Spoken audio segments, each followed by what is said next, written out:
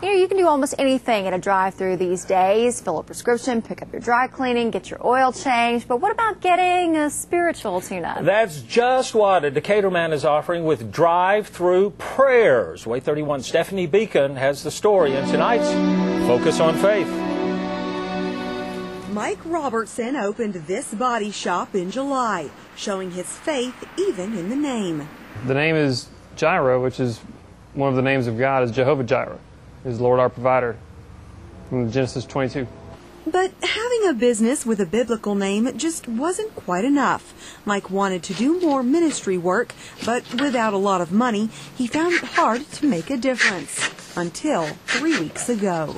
I have a banner, I have somewhere to hang it, and, and opportunity to pray with people. So it's, it's a good opportunity to minister to people in the community.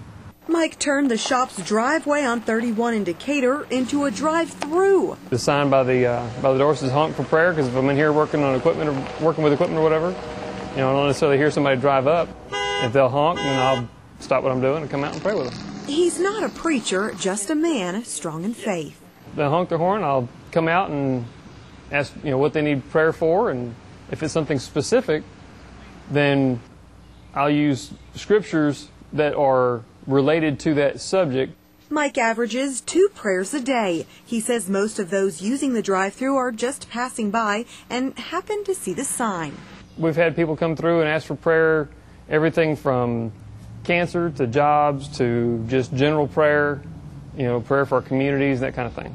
People have even returned thanking him for his help. She came back uh, the next day and said that after after we prayed, God had just given her a peace about what, what she was going through. Mike says no matter what he has, he will find a way to use it to help share the Word of God to others. We're reaching people where they are. And it's an opportunity to do that. And so I'll take, that, take every opportunity I can. In Decatur, Stephanie Beacon, WAAY 31 News. And if you have a Focus on Faith story idea that you would like to share with us, contact us at faith at waaytv.com.